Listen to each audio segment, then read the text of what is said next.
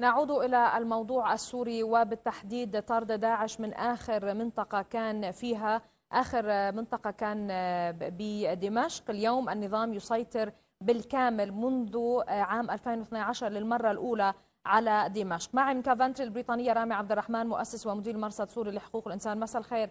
أهلا بك معنا سيد رامي.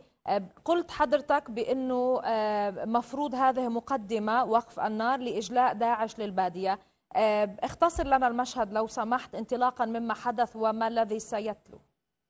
نعم نختصر من البادية حقيقة الأمر. هجوم لتنظيم الدولة الإسلامية في البادية السورية في المناطق التي رحل إليها التنظيم على قوات النظام والمسلحين الموالين لها أدى لمقتل ما لا يقل عن 26 آه، عنصرا من قوات النظام والمسلحين الموالين لها من جنسيات غير سورية. آه، طبعا خروج التنظيم من مخيم اليرموك وجنوب العاصمة كان أفضل من كامل الفصائل التي خرجت ضمن صفقات مع النظام. التنظيم ساهم بهذا الخروج بالإفراج عن عشرات المعتقلات. خرج التنظيم بسلاحه باتجاه البادية السورية. خرج أيضا أخرج عناصر التنظيم عفوا عوائل عناصر التنظيم وبعض المدنيين باتجاه محافظة إدلب نحو 600 مدني.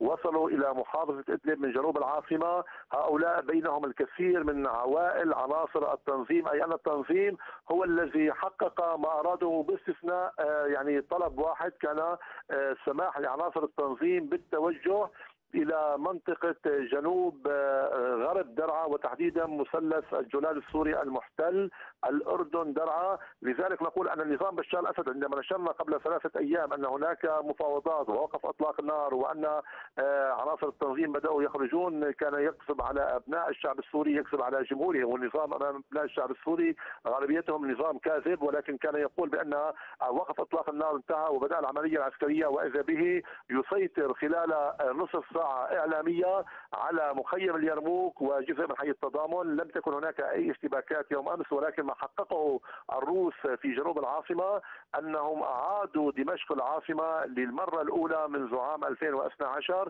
تحت سيطرة النظام حليفهم وتابع لهم في سوريا ماذا يعني هذا للفترة المقبلة سيد رامي؟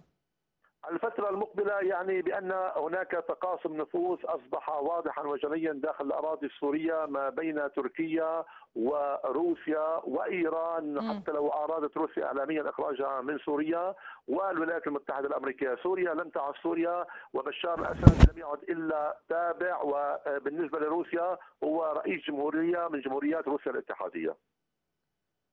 شكرا من كافانتري البريطانية رامي عبد الرحمن مؤسس ومدير المرصد السوري لحقوق الإنسان.